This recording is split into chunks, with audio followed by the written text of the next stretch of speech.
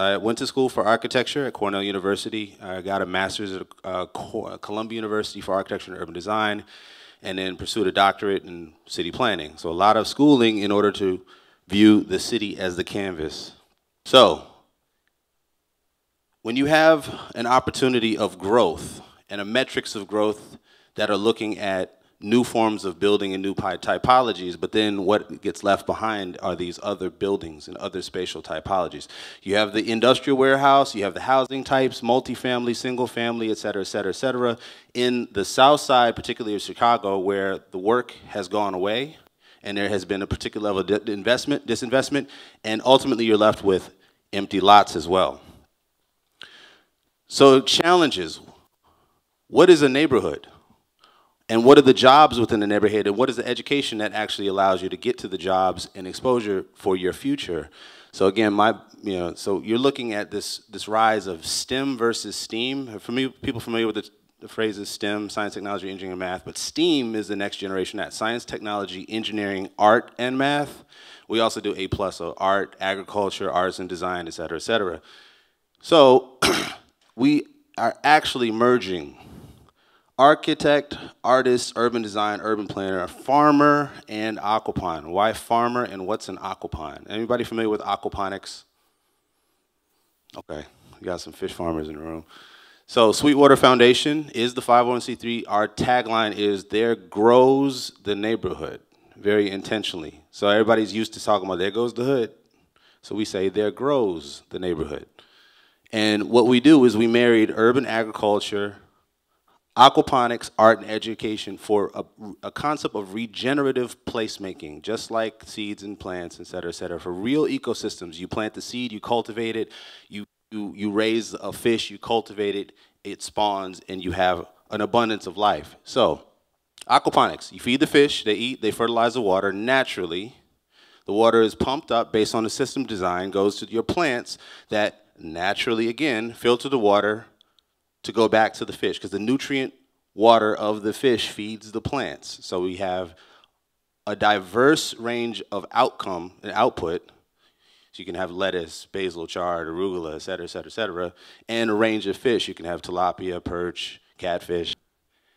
So several years ago, um, we had the challenge of pitching to MacArthur Foundation and Mozilla Foundation about how do we make this very interesting for youth so we said it's a digital media and learning component.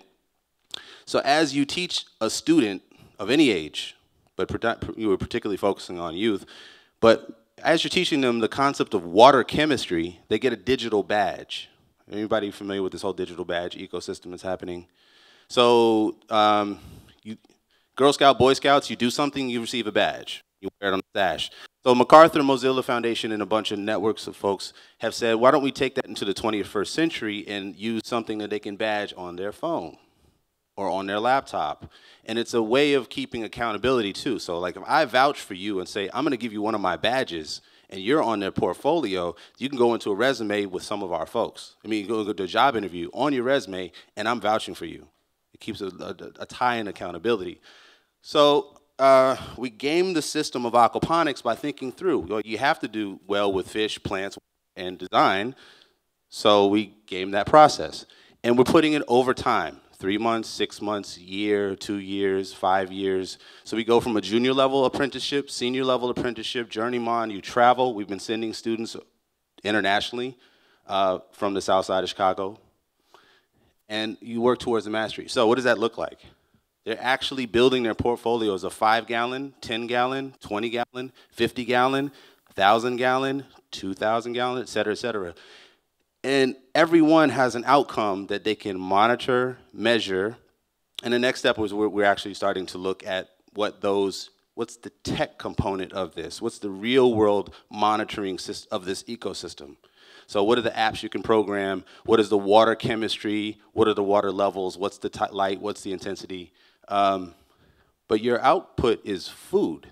Now, everybody knows what it costs to go to shop at a Whole Foods or a organic place, right? So we want to talk about market. We're actually creating new forms of markets within this existing rise of market within the local food network, right? Um, because the chefs want our product. That image is actually cropped, I'm not sure why. But that's an example of one of the sizes of scales. When you can grow 200 pounds of vegetables a week in an indoor or controlled environmental agriculture setting. Why is controlled environmental agriculture important? Why? Water. There's a scarcity of water, there are water control issues. What about the product of the, the quality of the food? We are always predominantly, we are always in neighborhoods that don't have access to fresh, healthy food, which is also directly correlated to issues with diabetes, cancer, et cetera, et cetera, et cetera. So instead, we create an ecosystem and a framework for conversations, an intergenerational, interdisciplinary conversation.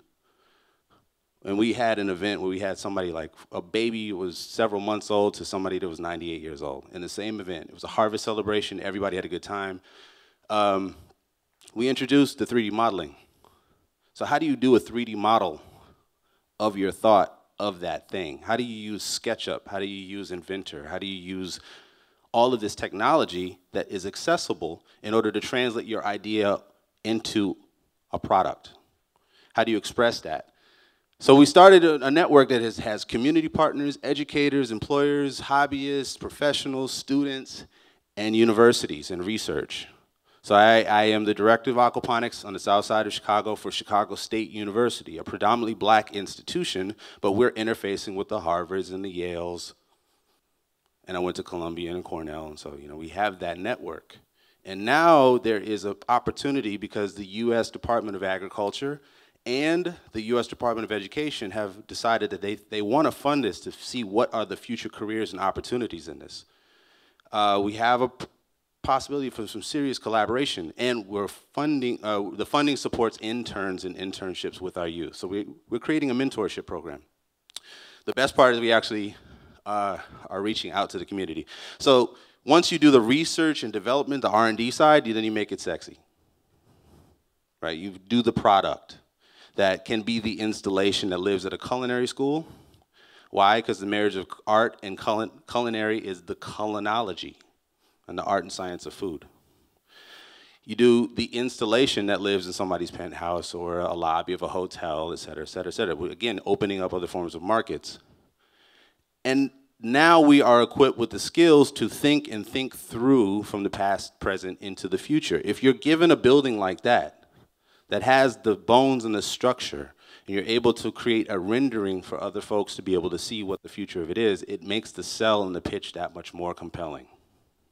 Right?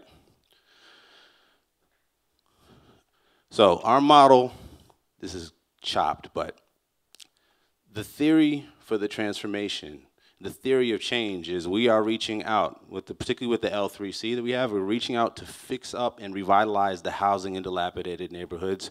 We're working, the folks that we feed and reach, and particularly youth, we put them through an urban agriculture experiential education program. So it's not just a talking head, you are actually physically doing something and you learn through osmosis by doing it and doing it again and doing it again, sharing it, teaching with others once we find the best of the best of that network, we say, we're going to put you in front of a corporate responsibility group or so and so as what, what pathway do you want to be? You want to be a biologist, a ichthyologist, an engineer?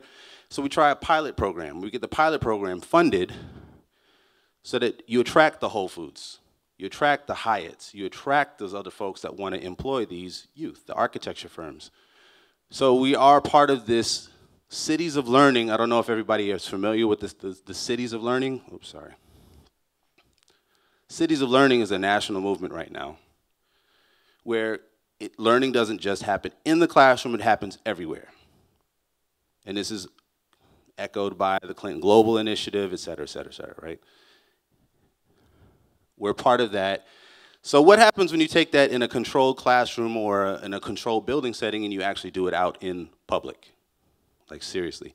So we started doing the revitalization of a, a, a, site that used to be a school. It used to be a school and then the city tore it down because it was too much dilapidation and challenges.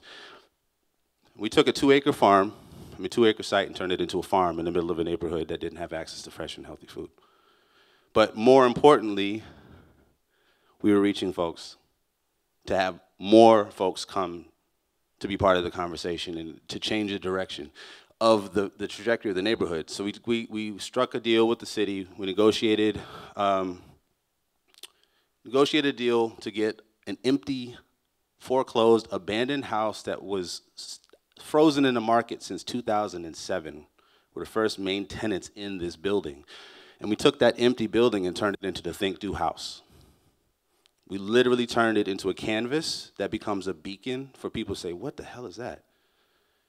And people like, why are you doing that in the middle of this neighborhood? You aren't you worried about tagging? Aren't you worried about this? We're like, no. Bring them in. So it was awesome because like when we were doing the, the mural, we had people stopping, we had people just posting up chairs, and then we had, it started off with the farm, people were getting food, learning about what was happening in the neighborhood, and we actually host workshops and outreach in that area, and then that attracts the ecosystem, much larger global ecosystem. That's my snapshot for the presentation.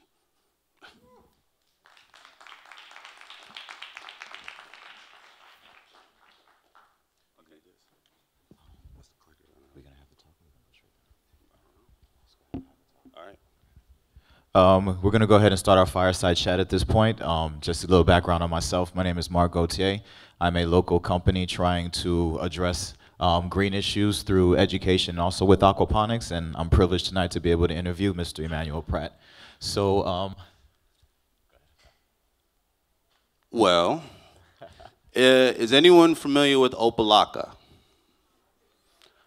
Okay, then. So I came here earlier, and then I had to cut out briefly because we're in conversation with uh, Dr. Willie Logan, and the Opa-locka CDC around this project of this art of transformation. And we're translating this into this other neighborhood. We're in, so how do you take an industrial building that in, infuse art and farming and aquaponics and community engagement and give that building some new life? So we're actually talking about them doing right now. Beautiful. Um, so the title is Envisioning uh, Green Solutions to 21st Century Problems. We're basically looking at um, future issues we're anticipating with climate change and discussing some potential solutions or some angles that aquaponics can have on it. So uh, global warming is pretty much the primary issue that we're dealing um, going into the 21st century. Not so much focusing on the cause, but definitely having to address the effects. So um, First and foremost, we're talking about energy. Basically, the carbon dioxide emissions that are being produced are um, pretty much the primary cause of what we're dealing with. But going forward, uh, my question for you would be, um, to what degree could aquaponics offset agriculture as it exists so that it could potentially um, help cut down the cost of importing foods from different nations, driving it across the country to different areas? Okay, so um, do you all know where your lettuce comes from? The ground, but where geographically does your lettuce come from? So let's just take one particular, you want to grow it in an area that has a warmer climate. Arizona. so now with aquaponics, yes, but in areas, what's the challenge of growing water? Two main issues. Water, I mean growing, growing, growing water. That was the actual Freudian slip because you are literally growing a variation of water and you're shipping water from California or wherever to Chicago. Let's just take that in and of itself. What's happening in California? What's been happening in California? Drought. Have you watched the time lapse of the drought? I would encourage anybody to go watch this time lapse of this drought over the past several years. It's shocking. So if you have a situation where you're just dumping water out and you're only farming a particular way and you're not doing in a more controlled, efficient manner, we're getting to a point of crisis, it's right in front of us, that this could offset a lot of this. It offsets the food miles, it offsets um, the quality control, because the second you cut a plant, this is basic science, right? You, you cut a plant from its root, what happens to the plant? It begins the dying process, which is actually a natural and a great thing. Instead, we're looking at how we could potentially infuse other chemicals in order to preserve it, which then, what, what the problem is that there's a correlation directly between the amount of pesticides and the cancer rates of what's happening to humans.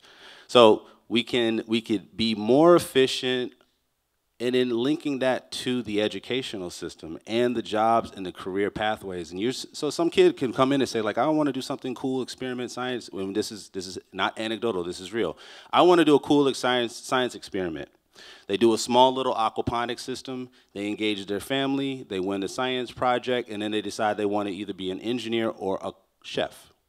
That's very real um, actually, it's funny you mentioned that because in my personal experience, um, just a little more background, 10 years with Miami-Dade County supervising curriculum, um, non-for-profits such as Common Threads come in and they're doing the cooking program to allow the kids to see what they can do with their foods.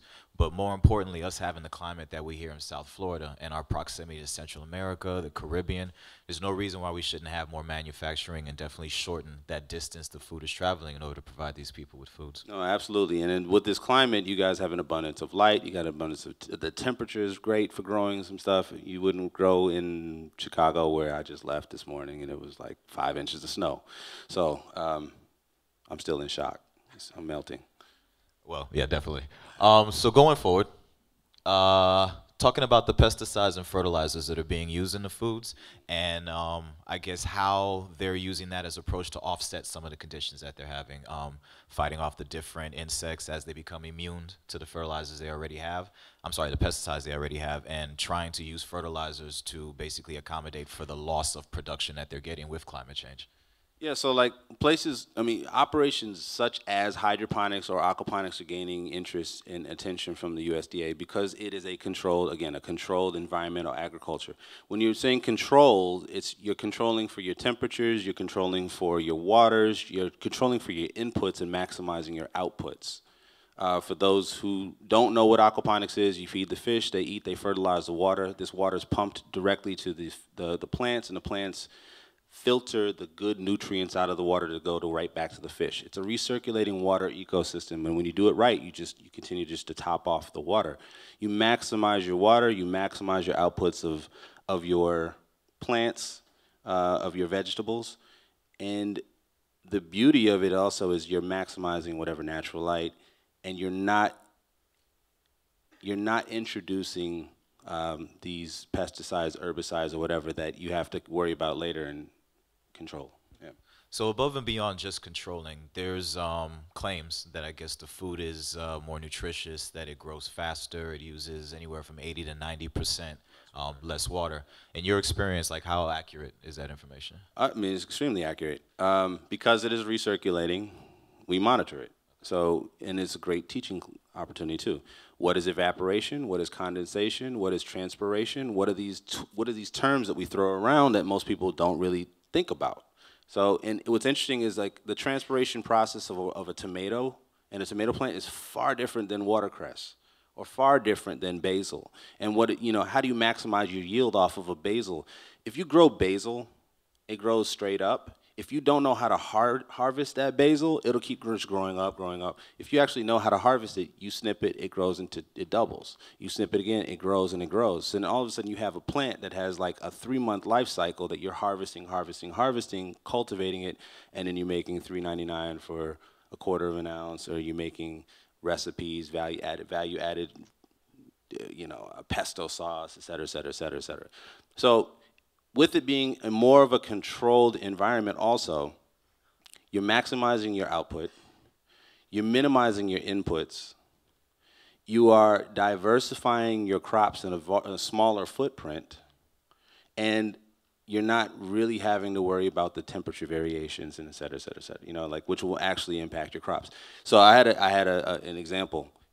South side of Chicago, it was 45 below with wind chill. It hit this nexus point, which is this crazy thing where like negative 40 is the exact same thing as negative, negative 40 Fahrenheit is the same as negative 40 Celsius. Like that's a weird anomaly to me. And to go through and live through that, but then I'm in this building and we're producing like crazy. And it, it, it, it's, it just proves, yes, it works and it's, it's efficient.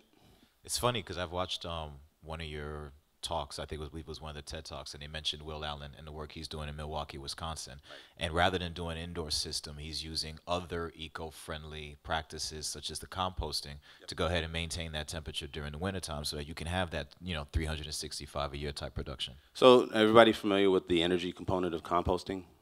Everybody knows what composting is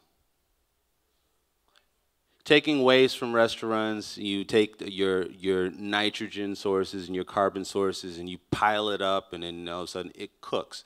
What's interesting is that if you add your worms and your beneficial bacteria that form into it, a pile of compost can generate up to 150 degrees internal heat. So if your food scraps is uh, creating this heat and you're also taking care of your waste that would otherwise end up in a landfill, or if you're taking plastics that would otherwise end up in the Pacific Ocean that's killing off our eco I mean we're talking ecosystem. I heard the term all over and over today, but this is really addressing the issue of ecosystems and particularly within our neighborhoods. What does it take in order what does it take for a neighborhood to thrive? A neighborhood is an ecosystem. So what does it take for a neighborhood to thrive? What do you need for it to thrive? Hmm? Food? Yes. Money?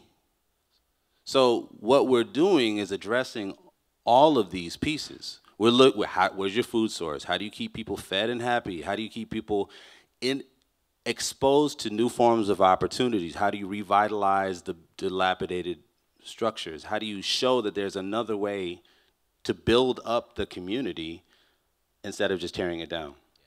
I mean, in addition to that, I mean, maintaining the resources, looking at how your water use, is being used, um, making it efficient, so that you know, as you know, the climate change goes uh, goes ahead forward and water becomes more more of an issue, you're doing future planning as far as how to be used to work on your other resources. And the other thing is that our building typologies, if anybody's into architecture, our buildings is a lot of talk about LEED and, and, and energy efficiency. And there are more and more softwares that are going out to model what are the energy, energy efficiency and capacity of these buildings in order to save your money over periods of time? How do you introduce solar? How do you introduce solar water heating, et cetera, et cetera, et cetera? We're learning from the adaptive repurposing of some of these older buildings and what you don't want to do again, and you can do a new form of a ground up model that is much more energy efficient, much more water conscious, much more productive. Excellent. Uh, we've pretty much talked about the crop failures. Well, actually, um, to what degree do you feel that um, aquaponics could help some of these areas where agriculture is an issue? For example, myself, uh, my background, my parents are born in Haiti, so after the right. earthquake and everything in 2010, food production and how they were going to accommodate the needs of all these displaced people became an issue. So, how do you foresee aquaponics potentially helping out areas like that, areas in Africa where there's a shortage of food?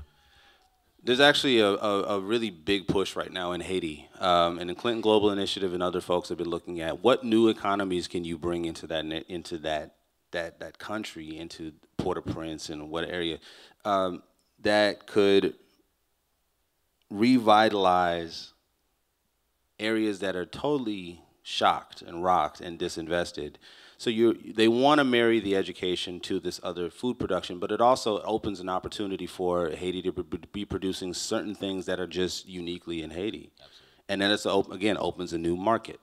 Um, there are there are aquaponics operations that are emerging right now in Haiti. Um, and they're because of the magic of the internet, they're sharing their information across to Mumbai and Shanghai, and, and so everybody's starting to see like, okay, well, there are special things that you can grow under certain types of conditions that you never thought about. You can grow orchids in aquaponics. You don't have to just grow only food. You can grow a, a wide range of crops. Yep. Okay.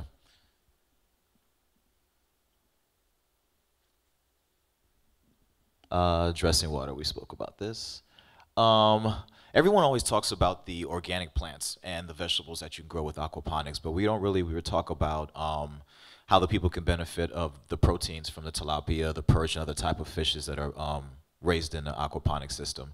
I guess this would be a two-part. Um, to what degree are you able to introduce that clean tilapia back into the market? And with the reputation that tilapia has gotten recently, as far as being as bad as bacon and whatever, how and does the chicken and fish exactly? How does um aquaculture compared to aquaponics in that regard? So, um, aquaculture, a lot of folks were starting to produce, just overproduce fish in very small areas. And the challenge that became very visible was what do you do with all this wastewater? If you have a whole lot of effluent rich water, what do you do with that stuff? Um, or what conditions are you even raising them in to begin with? So um, it, it, it, is, it has become very public that uh, overcramming fish leads to a very, very bad production cycle uh, way too much waste, and then what do you do with it? Sometimes folks were just flushing it, and if you flush the waste, the wastewater just goes back into our, our streams, and, and that's problematic in and of itself. But the aquaculture industry was uh, recognizing that, starting looking at all the different ways to in, in, include uh, technology and other forms to filter the water. But the thing that's nice about the aquaponics piece is that it begins a challenge, a very visibly upfront challenge uh, what are you doing with this wastewater and why if this wastewater is fertilized water what are the other markets that you can do with this? You know so, so home depot and some other places are selling fish water. Right so here's another market opportunity right it's fertilized water if you know what to do with it um, so the the the over cramming and under in the, the tilapia are very resilient fish, and so it's it's been it's been exposed that there there's there's problems with the way that certain countries have been producing their their uh, fish just for profit. Um, whereas now we're starting to see that you can you can change the way you produce. It's shifting the perception of this being a, just a terrible fish, um, you know, the bottom of the barrel fish, so now we're actually starting to work with restaurants directly. The restaurants come, they see, they do a taste test, a, a comparison, and then they say, I want this amount. Which great for the students that are involved in it, because then now you're talking math. What do you, how are you accountable? What, how many, how many pounds? How many fish at three pounds? What size are they? How much can you fulfill an order? How often? I mean, it's a very, very challenging mathematics problem uh, that we can set up into a spreadsheet and start creating formulas for. Beautiful. As much as I would love to get into the details of the educational component, because that's you know future manufacturing jobs, future occupation for our students, we are running a little bit low. Yep. So um, I actually wanted to ask you about your particular area of expertise and how does aquaponics um, do you see as far as urban planning and addressing issues that a particular community might have? What type of solutions would aquaponics be able to offer there? Um, so what I've experienced in the past uh, five years now, wow, it's going on six, is that it is it is an economic revitalization opportunity. Um, you you do a demonstration project that's totally different, totally new. Uh, it opens up a market. You started training some folks to place them into different career pathways and then all of a sudden you get this entrepreneurial spark that you recognize from some of these folks. And it's not just the youth. It's it's folks that are carpenters plumbers electricians et cetera that live in the neighborhood to say i have that skill set and they recognize themselves in the project. So what's interesting is that uh, is everybody familiar with what's happening with Whole Foods and the they have a Whole Kids Foundation now, which focuses on education. They give grants around gardens and aquaponics and some, but they also have a Whole Cities Foundation now because they're realizing that they're going to start looking how to rebuild and how to invest in some of these neighborhoods that they're, they're going into to uh, open new stores. So it just so happens that three minutes away from where we have our farm in the neighborhood, a Whole Foods is opening up. It's the first ever that I know of in a economically devastated neighborhood. Um, also, uh, perhaps Obama's library. So th th this, this, this, this conversation around economic opportunities becomes very, very, very, very real. And then we have international tourists that show up all the time. People from Paris, London, et cetera, et cetera. They hear about this cool thing, and they know that there's there's something like that happening in their neighborhood, Johannesburg. We had visitors, and then so now all of a sudden you have this student from the south side of Chicago that is offering a tour to the world, literally, and that's just an amazing opportunity for for the growth of a neighborhood. Beautiful. Hopefully, that's something that we can duplicate here in Miami. You know, going oh, forward. It's already happening. Well, it is Just definitely watch for happening. it. You're doing it. You're helping lead the card. You're Thank helping you. lead the charge. Um, so uh, going forward, we're opening the platform to any questions from the audience um, as far as aquaponics, uh, green solutions to our 21st century problems. Is anybody juice? Have you, have We have time for two questions. okay, just So, curious. oh, go ahead. Excellent. Uh, You had a well, I was just asking about the juicing because we didn't really talk about that, but um, that's a, a nutritional and a, a, a great way to drink your product, but also um, new market. No, actually, it's something I incorporated uh, maybe two years ago. And like you were saying about the vegetables being fresh coming out of the aquaponics and being able to get that nutrition directly from the juice and is beautiful. You had a question? Hi, yes, my name is Eunice Kofi. I am a chemist um, and entrepreneur. So y- your story is just very interesting because that's how I got started in science. My dad taught me how to grow corn, and I entered my first science fair and I won. So that you know led to me uh, being where I am today. Um, I wanted to know you you're thinking about starting one here in Miami, would you be interested in starting in other sites? Because I know that in uh, Tallahassee, where I'm from, Florida A&M's uh, School of Business is interested in doing something with hydroponics and looking that as a source of um, income for um, the African American community. And then also, we have a very strong agriculture school. So we have um, uh, farms where we allow community members to go and farm, um, plant their own foods, and then we also have viticulture. One of the only viticulturalists um, in America is at Florida A&M, and so we um, create our own wines. We are trying to find ways to maintain the muscadine grape. Um, so I just wanted to know if there was any interest in expanding and seeing how I could possibly connect you with someone at Florida A&M to. Y- Yeah, very much so. Um, and so we had a visit from the Deputy Secretary for the USDA, Krysta Harden, and she says specifically the USD, USDA has been looking, how do you attract up and coming future farmers because there's a crisis on who's farming. And so when you're looking at urban agriculture, you're looking at, again, a new market, an opportunity. But it's interesting because we're not branding it as an urban farmer per se. We're like, you're an architect, but you're also a farmer. You're a plumber, you're also a farmer. You're a basketball player, football player, but you're also a farmer. So an urban condition. But she says specifically, if you find a way, they're looking for ways to bridge the rural and urban and also the transfer of this technology and knowledge. So the USD is very, very, very interested in seeing um, research, education, and economics. So long story short, yes, absolutely. And if you want to find out, you want to reach me, just info at sweetwaterfoundation.com, and I'll, I'll talk to you after. All right. Excellent. Any other questions? Go ahead. You mentioned about engaging families with trying to start the whole program in the communities. Human, as, as human beings, we tend to have short attention spans. How do you kind of keep them engaged? Because one of the things that tend to happen with community farms is that unless there's some sort of program with it, the crops die, people stop coming, Right. they don't really tend to it. So how, what's been successful for you? So for one, we do it within the neighborhood. We find folks within the neighborhood. So inside out, not outside in. Right? We talk to folks directly from the neighborhood, find folks that buy in from the neighborhood, and we find folks that will help cultivate it. For two, we have created a programming that has a structure that we call we, we, we do harvest celebrations. So not just uh, food, but how do you bring in an audience to celebrate the folks that have seen this thing through? You get some music, you get some food, you get some sounds, and you have the students or whoever they are present. So they're actually taking ownership every step of the way and taking the leadership role. And then all of a sudden, we're starting to see this sustained network. Um, and then you bring in that international person that shows up, and you're like, "What's your story?"